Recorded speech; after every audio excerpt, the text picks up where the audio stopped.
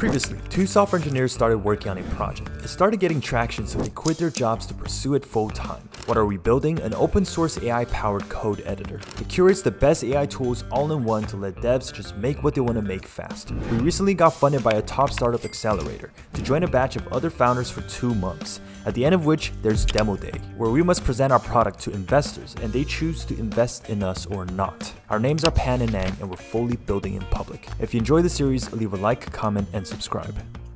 20 days until Demo Day. Alright, today is Monday. Start of a new week, and we're about to go meet with an investor. That's our ride. This is our first time in a driverless car. Right. Yeah. Hello, sir. Alright, we did no preparation for this investor.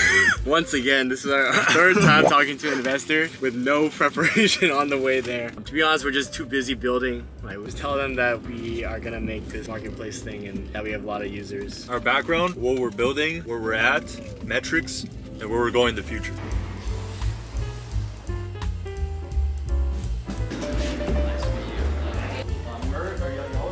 Uh, Probably the perfect time to get pre-seed funding.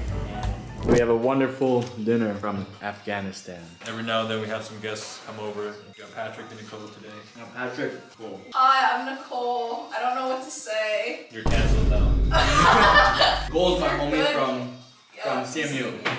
We go way back. Should not try too hard to create artificial intelligence because I think that might be too fragile. or? You, you know what makes you unique, then you can leverage that.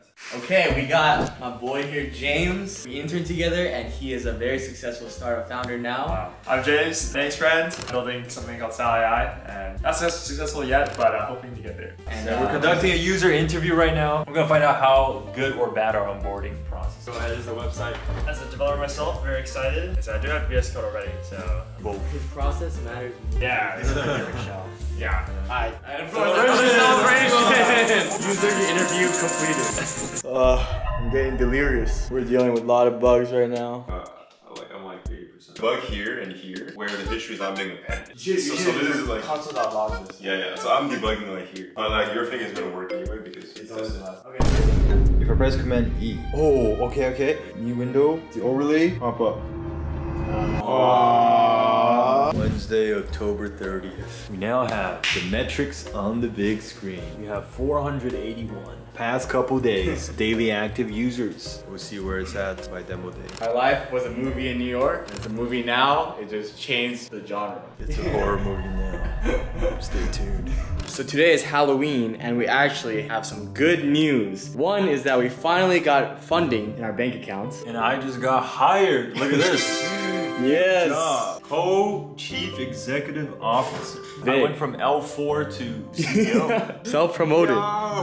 we actually, for the first time, have money in our bank account and we are no longer using our own money, which we've been using quite a bit because free trials have been going crazy. But we have a celebration dinner with a special guest Daniel. We got some uh, some good food. Celebrating my new job off. Nang is still unemployed. we'll hire you soon. Yeah, I'll work hard. All right, we got two designs for the revamp of the landing page. We're gonna run a poll and we're gonna get Nicole's opinion. Let's see what I've learned from all my UX UI. Ooh. This is the current one before, and then first choice of after, second choice of after. All right, Nicole, choose. Choose. Oh god. You have three seconds. what? Three, Wait, two. so these two graphics are saying two different things. Oh, like, what? Oh. Isn't this sequential? And then this one is like, Oh. oh, all of these are coming to Pear. Oh, this makes it look sequential. Yeah. So like. Don't want it to. Yeah. Okay, so then I picked this one because then it's like they're all separate products kind of that you integrate. So I would say this one. Okay. Okay, So that makes then sense we're actually. going with this one.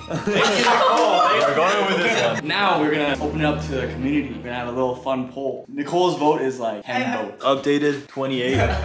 No, it's not updated at all, man. I think it's pretty accurate actually. I think there's about two weeks left, so maybe it's more like 14 days. We're performing a soft relaunch today of the app. And look at this new onboarding welcome page we have. Oh my god, this shit is clean, dude. Oh, import extensions from VS Code. People were saying shit was happening behind the scenes, but now you gotta click this button. Look at that. Hell yeah, hell yeah, look at that beautiful. Okay, so quick yap sesh. We got a lot of comments. People saying, "Oh, are you guys aware that the another company solving the same problem or doing the same thing as you guys? And for that, I'll say yes, we do know. There's like a million of them. Yeah, that's why the space is very competitive right now. And then we get a lot of comments saying like, oh, I'm doing a startup and you know, there's a competitor that's doing the same thing or there's already existing idea. For all of this, I would say that, yeah, like having a differentiator is nice. Like for PearAI, we have like an extremely different bet in the long term on what future for AI coding is going to be like with inventory thing, right? But even if we didn't have that, I would say that it's still fine to solve the same problem that someone's already trying to solve if you're the right person for it.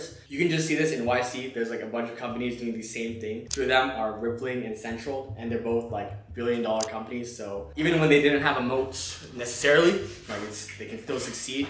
Oh, and last thing is right for the investments. Right now, we're currently raising money. I'll say that I have like 110% conviction that PearAI will succeed in the long term. It's definitely not gonna be easy, but I feel like with anything, we can always just figure it out. And it's just a matter if the investor wants to be along for the ride or not. It might be delusion, but I 100% believe it. All right, we're about to head out to investor meeting. Yo, Nang, are you ready to go? Uh, Nang? Bro, wake up. We gotta leave, bro. It's in 10 minutes. Where are we going?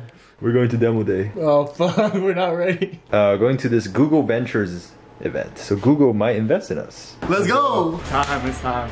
It's called Google Ventures, an event with a bunch of investors, and Google invited us.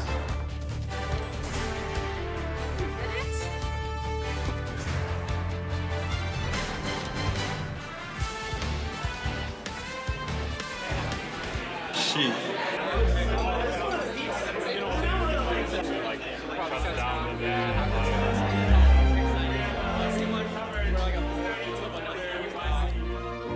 Just finished the event. We overheard this person say he thinks the most promising startup here is the AI code editor. That's us. So, you know, that's pretty cool. A lot of these VCs wanted to talk to us apparently, but it was kind of like um previous episode on Pan's channel. Another YC founder was like, "Oh, in these events, you want to be like the hottest girl in the room." Low key, Low key? kind of felt like that's like people were coming up to talk to us, and we're like, we're a hot girl. extra, extra smiley. So things are good. PearAI's back up. Anyways, back to the grind. Okay, so it's the night before the relaunch tomorrow, the big relaunch, and we're gonna get posted on all the social medias, Product Hunt, Twitter, LinkedIn, everything by uh, our accelerator and ourselves. Last time we launched, it went crazy, but you know, there was bad and good, and uh, hopefully this time there's gonna be more just good, but definitely there's gonna be some bad.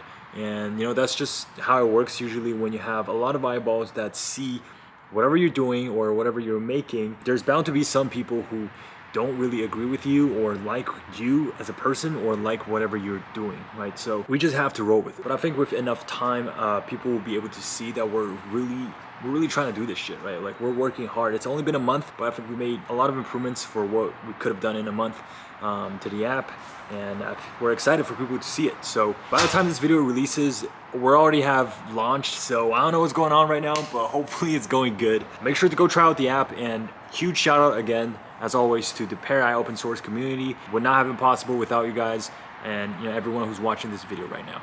Okay, praying for tomorrow. Peace.